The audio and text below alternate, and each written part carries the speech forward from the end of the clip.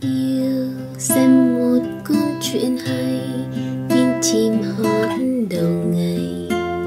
Và yêu biển văn, tôi yêu đi cà phê buổi sáng con đường ngập lá vàng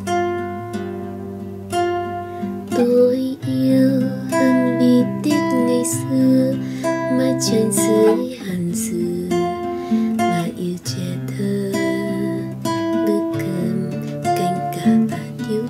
thuốc giấc ngủ không một mì và tôi cũng yêu em và tôi cũng yêu em.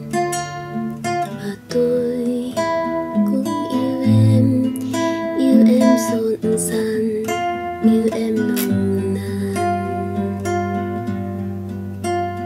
Tôi yêu đi bộ dưới hàng cây, đâu vui với bạn bè và ly rượu ngon tôi yêu trong nhà nhiều cây lá tôi yêu những người xa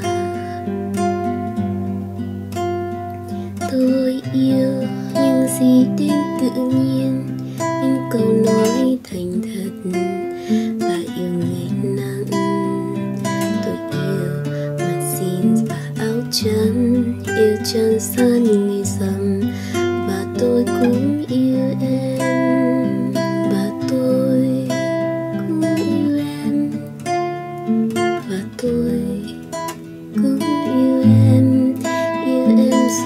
gian yêu em nồng nàn yêu em chưa chưa